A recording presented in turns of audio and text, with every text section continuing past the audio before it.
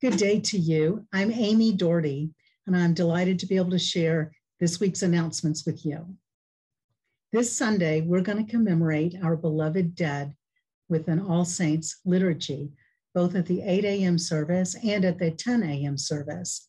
We'll be reading names of those beloved uh, dead.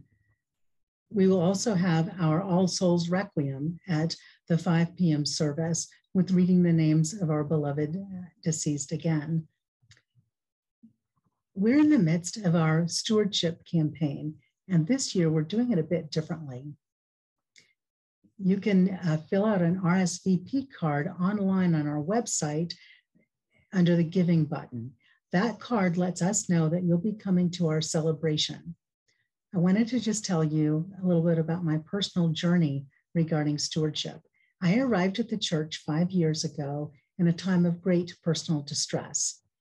As soon as I got into Good Shepherd, I was greeted very warmly by numerous people, and I was really comforted by the sacred space of the church, as well as the uh, choir and the preaching on love since that time, Good Shepherd has been to me a shelter.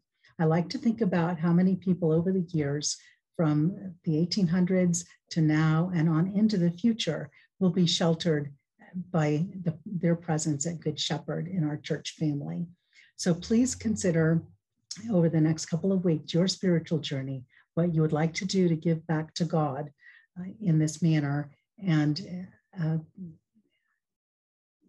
as your response to the uh, very um, love that God has lavished on us.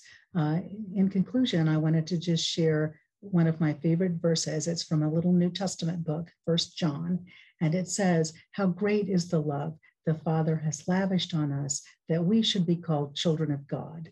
And that is what we are. I really love being a child of God in the congregation at Good Shepherd uh, with all of you. You all have a good day.